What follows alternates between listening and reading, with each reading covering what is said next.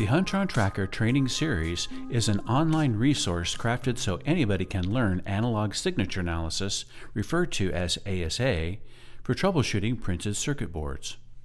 This course explores ASA in depth and how it is used as a power off electronic testing and troubleshooting method. Learn at your own pace and why ASA is the go to method for electronic troubleshooting used by companies worldwide. A series of video based lessons cover ASA in detail, beginning with the concept of the Huntron tracker. The lessons then dive into the four basic analog signatures of resistance, capacitance, inductance, and semiconductance, and look at why each signature looks the way it does.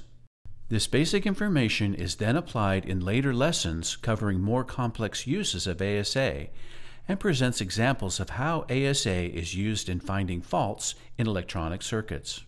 The troubleshooting workflow is discussed and later applied to examples where actual faulty circuits are diagnosed and repaired.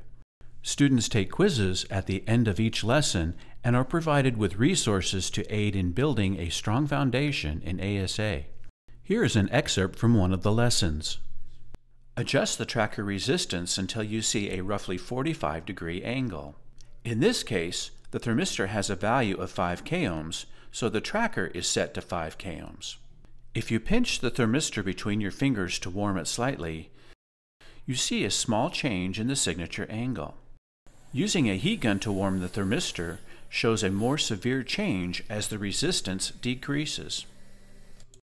A brief application of freeze spray and you will see the opposite reaction as the thermistor increases in resistance.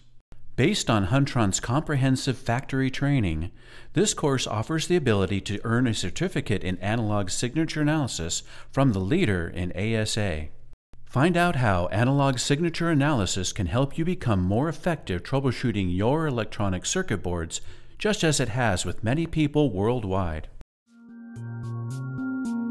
Check out this valuable analog signature analysis course at learning.huntron.com and add one more tool to your electronic troubleshooting skill set.